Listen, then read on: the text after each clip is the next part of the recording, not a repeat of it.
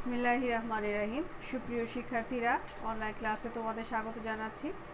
তো শিক্ষার্থীরা, আমরা পড়ছিলাম হচ্ছে ঘাসপুরিংয়ের রক্ত সংবহন তন্ত্র বা ব্লাড সার্কুলেটরি সিস্টেম তো এই যে রক্ত সংবহন তন্ত্র, এই রক্ত সংবহন তন্ত্রের যে তিনটা অংশ রয়েছে, যার মাধ্যমে সমস্ত প্রক্রিয়াটি সম্পন্ন হয়, রক্ত সমস্ত দেহে প্রবাহিত হয় বা পরিবাহিত হয় সেই অংশগুলোকে নিয়ে আমরা বিগত ক্লাসে আলোচনা করেছি। তো আজকে এই যে রক্ত সংবহন তন্ত্রের যে এই চক্রটা এই চক্রটা কীভাবে সম্পন্ন হয়, এই তিনটা অংশের মাধ্যমে সেটা আমরা আজকে পড়ব আর কি। তো শিক্ষার্থীরা, তাহলে আমরা চলে যাই আমাদের মূল আলোচনায়। তো আমরা যে তিনটা অংশ পড়েছিলাম, তো চিত্রের মাধ্যমে আমরা পুনরায় সেই তিনটা অংশ আবার একটু আলোচনা করি চিত্রের মাধ্যমে, যদিও বিগত ক্লাসে আলোচনা করেছিলাম।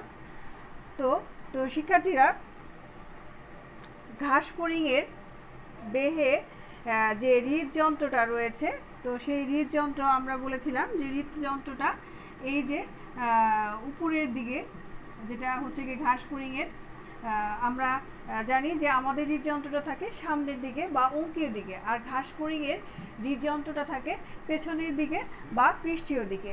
তো ঘাস এই যে সাত প্রকোষ্ঠ বিশিষ্ট যে হৃদযন্ত্রটা রয়েছে এই যে এটা সাতটি প্রকোষ্ঠ বিশিষ্ট, এই সাতটি প্রকোষ্ঠ, এই যে এটাই হচ্ছে গিয়ে হৃদযন্ত্র। তো পুরোটা এই যে আমরা যে হিমোসিলের কথা যে বলেছি, যে হিমোসিলে ঘাস ফড়িংয়ের রক্ত রক্তটা হিমোসিলে থাকে, অর্থাৎ হচ্ছে গিয়ে ঘাস রক্ত সংবহন তন্ত্রটা হচ্ছে গিয়ে মুক্ত ধরনের। তো হিমোসিলে এই ঘাসফড়িং হিমোসিল রক্ত দ্বারা হিমোসিলটা পূর্ণ থাকে। তো ঘাসফড়িংয়ের রক্ত এই সংবহন প্রক্রিয়ার শুরুতে যেটা হচ্ছে গিয়ে আমরা জানি যে এটা হচ্ছে গিয়ে ঘাসফড়িংয়ের আগে বিষয়গুলো আমরা চিহ্নিত করে নেই যে এটা হচ্ছে গিয়ে হৃদযন্ত্র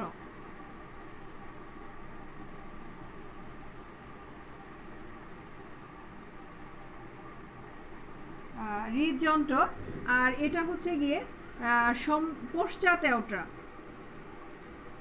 তো হৃদযন্ত্রের মধ্যে যে সোজা নলাকার এই সম্মুখ দিকে এবং পেছনের দিকে যে অংশটা রয়েছে, অস্ট্রিয়াবিহীন, আমরা সেটাকে বলেছিলাম যে একটা হচ্ছে গিয়ে, পেছনেরটি হচ্ছে গিয়ে পোস্টেরিয়র এওটা বা পশ্চাৎ এওটা। আর সামনের দিকে যে নলাকার অংশটা রয়েছে, সেটাকে আমরা বলেছি অ্যান্টেরিয়র এওটা বা সম্মুখ এওটা তাহলে আমরা এখানে পেলাম, এটা হচ্ছে গিয়ে পশ্চাৎ এওট্রা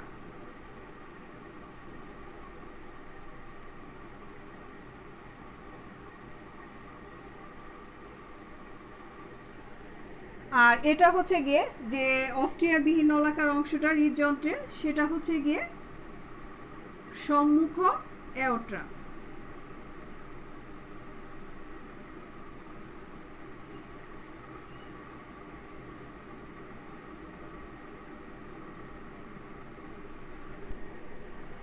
আর এটা হচ্ছে গিয়ে মাঝে যে অস্ট্রিয়াযুক্ত আহ, ফানেল আকার যে সাতটি প্রকোষ্ঠ রয়েছে এটা হচ্ছে গিয়ে হৃদযন্ত্র।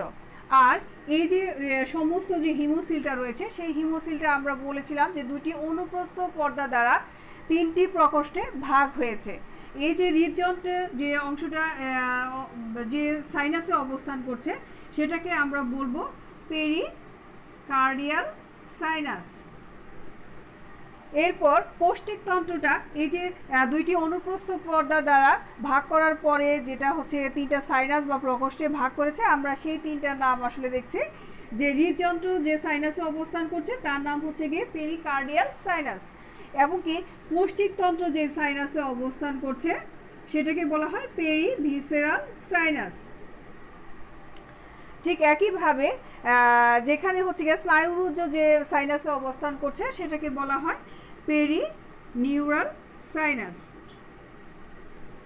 তো শিক্ষার্থীরা, এই যে সাইনাসগুলো আছে, এই সাইনাসগুলো একটি সাইনাস থেকে আরেকটি সাইনাসে রক্ত তার প্রয়োজন মাফিক আসা যাওয়া করতে থাকে। তো তাহলে আমরা এই যে হৃদযন্ত্রের যে প্রকোষ্ঠগুলো আছে, যে হৃদযন্ত্র আছে এবং এই সাইনাসের মাধ্যমে কীভাবে ঘাসফড়িংয়ের স- দেহে সমস্ত রক্তটি সরবরাহ হয়, এখন আমরা সেই চক্রটা খেয়াল করব। তো আমরা আরেকটি বিষয় তোমাদেরকে বলেছিলাম যে এই যে হৃদযন্ত্রের উপরে এবং নিচে কিছু ত্রিকোণাকার পেশি রয়েছে।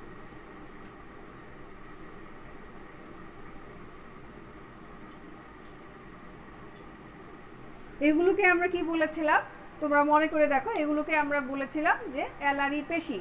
এই যে এই অ্যালারি পেশি এবং কি এই যে হৃদযন্ত্র রয়েছে, এই হৃদযন্ত্রের এবং অ্যালারি পেশির সংকোচন এবং প্রসারণের মাধ্যমে ঘাস ফুরিংয়ের দেহে সমস্ত রক্ত সংবহন প্রক্রিয়াটা সম্পন্ন হয়ে থাকে।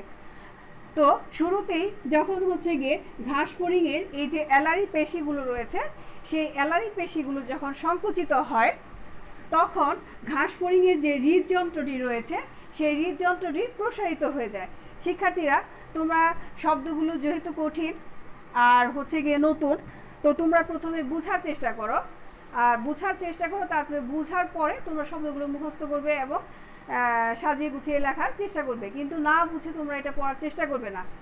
আর সবচেয়ে গুরুত্বপূর্ণ আরেকটি কথা আমি মাঝে বলে রাখি যে ঘাস ফড়িংয়ে এই রক্ত সংবহন তন্ত্রটি খুবই গুরুত্বপূর্ণ তোমাদের পরীক্ষার জন্য। তো ঘাস এই চ্যাপ্টার টোটাল চ্যাপ্টারের মধ্যে দেখা যায় যে রক্ত সংবহন তন্ত্র, তারপরে হচ্ছে ঘাস ফড়িংয়ের যে উমাটিডিয়াম রয়েছে, দর্শন অঙ্গের একক সেটা, তারপরে দর্শন কৌশল, এগুলো আসলে খুবই ইম্পর্টেন্ট এমনকি এগুলো বোঝার একটি বিষয়।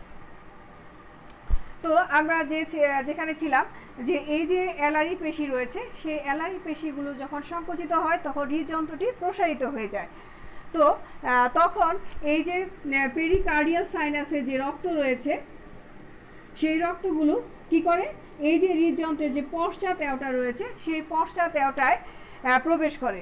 এবং কি, তখন হচ্ছে গিয়ে এই যে হৃদযন্ত্রের আমরা বলেছিলাম যে হৃদযন্ত্রে কি রয়েছে? একজোড়া করে ছিদ্র রয়েছে, অস্টিয়া রয়েছে। তো এই পশ্চাৎ অ্যাওটা থেকে এই ছিদ্রের মাধ্যমে ঘাস রক্ত এই হৃদযন্ত্রে প্রবেশ করে। তাহলে প্রথমে শুরুতে কি হলো? অ্যালারি পেশিগুলো সংকুচিত হলো, হৃৎপিণ্ড প্রসারিত হয়ে গেল, রক্ত পেরিকার্ডিয়াল সাইনাস থেকে পশ্চাৎ প্রবেশ করল এবং অস্ট্রিয়া নামক ছিদ্রের মাধ্যমে হৃদযন্ত্রে প্রবেশ করল। আর আমরা জানি যে হৃদযন্ত্রে কিছু কপাটিকা রয়েছে, যে কপাটিকাগুলো যে রক্তকে বিপরীত দিকে প্রবেশ করতে বাধা দেয়। তো যার কারণে কি হয়? রক্ত এই যে হৃদযন্ত্রটা ধীরে ধীরে পেছনের দিক থেকে সামনের দিকে সংকুচিত হতে থাকে এবং এর ফলে রক্ত, এই যে পশ্চাৎ অ্যাওটা থেকে হৃদযন্ত্র হৃদযন্ত্র থেকে কি হলো? সম্মুখ অ্যাওটায় চলে আসলো। এই সম্মুখ আয়োটা থেকে রক্ত চলে আসলো। এই যে মস্তকের সাইনাস রয়েছে, সেই মস্তকের সাইনাসে এখন এই মস্তকের সাইনাস থেকে রক্ত চলে আসলো পেরি নিউরাল সাইনাসে পেরি নিউরাল সাইনাস থেকে রক্ত চলে গেল পেরি ভিসেরাল সাইনাসে। তো পেরি ভিসেরাল সাইনাস থেকে আবার চলে গেল কোথায়? পেরি কার্ডিয়াল সাইনাসে। পেরি কার্ডিয়াল সাইনাসে ঠিক একইভাবে আবার অ্যালারি পেশি সংকোচন হৃদযন্ত্রের প্রসারণ। চলে গেল পশ্চাতে ওটা পশ্চাৎ দেওটা থেকে আমার চলে গেল হৃদযন্ত্রে হৃদযন্ত্র থেকে চলে গেল সম্মুখ আয়োটা। সম্মুখ আয়োটা থেকে মস্তকের সাইনাসে। মস্তকের সাইনাস থেকে পেরিনিউরাল সাইনাস পেরিনিউরাল সাইনাস থেকে পেরিভিসেরাল তারপরে পেরিকার্ডিয়াল ঠিক একইভাবে এই চক্রাকার আবর্তনটা আবর্তিত হতেই থাকে। তো এই যে পুরো যে সম্পূর্ণটা এই সংবহন তন্ত্রটা ঘাস ফড়িংয়ের দেহে একবার এই রক্ত সংবহন হতে সময় লাগে হচ্ছে গিয়ে তিরিশ থেকে ষাট মিনিট সময় লাগে। তো শিক্ষার্থীরা, তোমরা খেয়াল করো যে ঘাস ফড়িংয়ের রক্তে আমরা যে সংবহন প্রক্রিয়াটা কিন্তু আমরা পুরোটাই বলেছি। এখন তাহলে আমরা খাতায় লিখে ফেলি যে চক্রটা কীভাবে সম্পন্ন হয়। প্রথমে আমরা কি গেলাম? যে pericardial sinus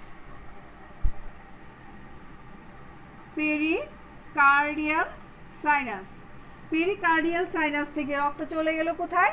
পশ্চাৎ অ্যাওট্রা বা পোস্টেরিয়র অ্যাওট্রায়।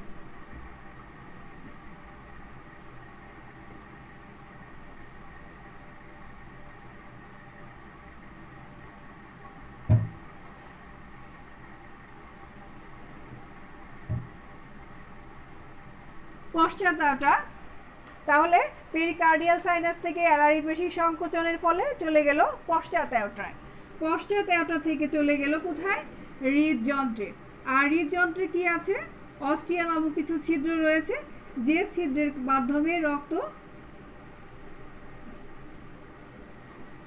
পশ্চাৎ অ্যাওটা থেকে হৃদযন্ত্রে প্রবেশ করল। আর হৃদযন্ত্রে এই অস্ট্রিয়া নামক ছিদ্রে কিছু কপাটিকা রয়েছে, যে কপাটিকার কারণে এর যে ব্যাক ফ্লো হয় রক্তের, সেটাকে প্রিভেন্ট করে। তো এই যে হৃদযন্ত্র, যার কারণে রক্ত হৃদযন্ত্র হয়ে চলে আসে সম্মুখ অ্যাওট্রায় রক্ত চলে আসলো সম্মুখ অ্যাওট্রায়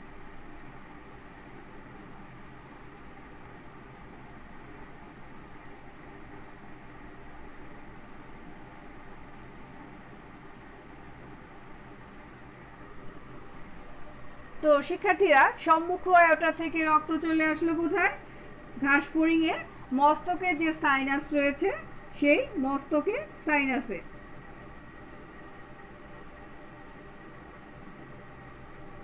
মস্তকের সাইনাস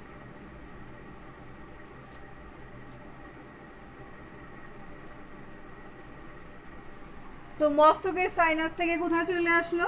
মস্তকের সাইনাস থেকে চলে আসলো peri neural সাইনাসে peri neural sinus peri neural sinus থেকে কোথায় যাবে? পেরি নিউরাল সাইনাস থেকে আসবে peri visceral sinus peri visceral sinus থেকে আবার কোথায় চলে যাবে? পেরিকার্ডিয়াল সাইনাস পেরিকার্ডিয়াল সাইনাস থেকে আবার পশ্চাতে ওটা পশ্চাতে ওটা থেকে হৃদযন্ত্র। হৃদযন্ত্র থেকে সম্মুখ ওটা মস্তকের sinus perineural sinus pericardial sinus sorry perivisceral sinus তারপরে চলে যাবে আবার পেরিকার্ডিয়াল সাইনাসে তো শিক্ষার্থীরা, আশা করি তোমরা চক্রটা বুঝতে পেরেছ। তো ঘাস পরিয়ে রক্ত সংবহন প্রক্রিয়াটা এই পর্যন্তই। তাহলে আমরা সমস্ত সংবহন প্রক্রিয়াটা আবার একটু সংক্ষিপ্ত আকারে মনে করে নিই। যে কি ছিল? ঘাস পরিয়ে রক্ত মুক্ত ধরনের অনুন্নত এবং মুক্ত ধরনের। আর এখানে তিনটি অংশ রয়েছে, সেটি হচ্ছে গিয়ে হিমোসিল হিমোলিম আর রয়েছে পৃষ্ঠীয় বাহিকা হিমোসিলটা কি? হিমোসিলটা হচ্ছে গিয়ে এখানে দুটি অনুপ্রস্থ পর্দা রয়েছে। এই অনুপ্রস্থ পর্দা দ্বারা তিনটি প্রকোষ্ঠে ভাগ হয়েছে। একটি হচ্ছে গিয়ে pericardial sinus perivisceral sinus perineural sinus এরপর হচ্ছে গিয়ে হিমোলিম। হিমোলিম আসলে ঘাস পরিঙের যে রক্ত বর্ণহীন রক্ত সেটাকে হিমোলিম বলা হয়। তো হিমোলিম এখানে বর্ণহীন কিছু প্লাজমা রয়েছে, কিছু বর্ণহীন রক্তকণিকা রয়েছে, যেগুলোকে হিমোসাইট বলা হয়। আর লিম্ফ এবং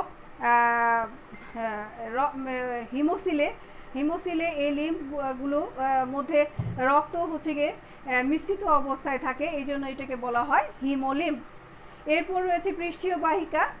তো পৃষ্ঠীয় বাহিকায় আমরা জানি যে দুইটি অংশ রয়েছে। একটি হচ্ছে গিয়ে অস্ট্রিয়াবিহীন, অর্থাৎ ছিদ্রবিহীন সম্মুখ এবং পশ্চাৎ ওটা আর রয়েছে ছিদ্রযুক্ত হৃদযন্ত্র। আর হচ্ছে গিয়ে সমস্ত চক্রটিও আমরা খেয়াল করলাম যে ঘাসফড়িংয়ের দেহে কোন প্রক্রিয়ায় এই অংশগুলোর মাধ্যমে সংবহন প্রক্রিয়াটি সম্পন্ন হয়। তো শিক্ষার্থীরা, আশা করি তোমরা বুঝতে পেরেছ। তো আগামী ক্লাস দেখার তোমাদের আমন্ত্রণ জানিয়ে আজকের মতো এখানেই শেষ করছি। ধন্যবাদ সবাইকে।